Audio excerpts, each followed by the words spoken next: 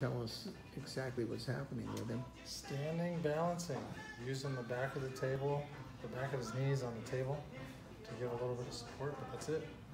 There's nothing in front of his knees locking him out. Just good posture. Leaning forward over the toes. So there's no there's no cords or pulleys. No mirrors.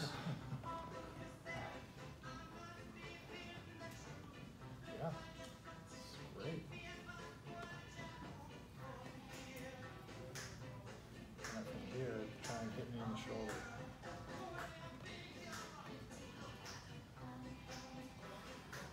Nice. And left.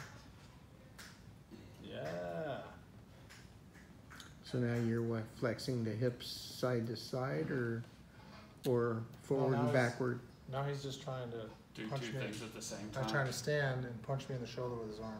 Okay, So keep going, go right, left. So in order to do that, it changes the center of gravity, changes where his weight is distributed in his feet. He has to stop thinking about contracting the legs and balancing, so it makes everything harder. Nice, Mike. That is nuts. Good. Good, so we get ten more, five each arm.